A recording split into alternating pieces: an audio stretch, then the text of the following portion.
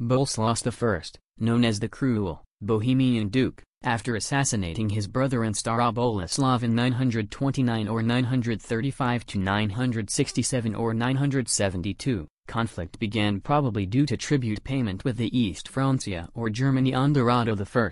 The conflict was very long and in the end he accepted him as suzerain. He expanded the Czech realm occupying Upper Silesia and Lesser Poland. His daughter Milada became a nun and was sent to Rome. His daughter Doubrava married the Polish Duke Mieszko and took part in Christianization of Poland. He helped him in a conflict. He helped the Germans in Battle of Lechfeld and with the Polabian revolt. Boleslaus also started centralizing the duchy with a castle system. Other things include, first coins, push for bishopric,